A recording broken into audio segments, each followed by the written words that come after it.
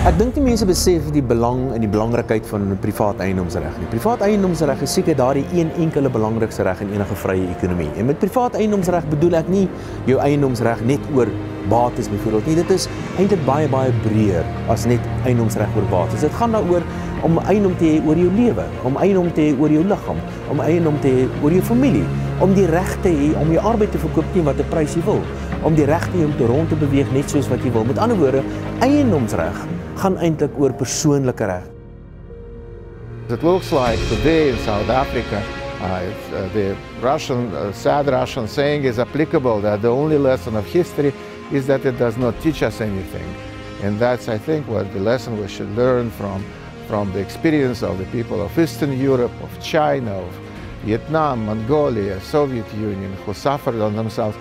And you have a lot of experiences around you. You see in Zimbabwe, you see other devastated countries by their own leaders. And I think that it shouldn't happen in your beautiful country with these wonderful people.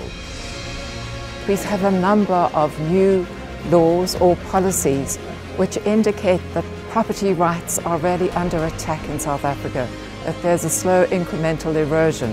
And that is truly worrying because that bill applies not only to foreign investors, but also to South African property owners.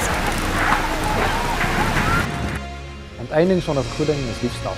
Maar vir sake sal eiendomsreg beskerm en bevorder dis waarvoor ons bestaan. Ons doen dit in ons lede se belang, u behoort te ondersteun in u eie belang. Maar ons moet dit ook doen in openbare belang.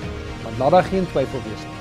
Waar eiendomsreg ontneem word, waar 'n staat besit neem van eiendom of eiendom links en regs begin herverdeel of sê ons sal nie wanordelik onteien nie, ons gaan dit op 'n ordelike wyse doen, die resultaat by dieselfde. Dis 'n getoetste resep vir mislukking, vir ongeluk, vir armoede en vir onvrede. Laat ons dit teestaan.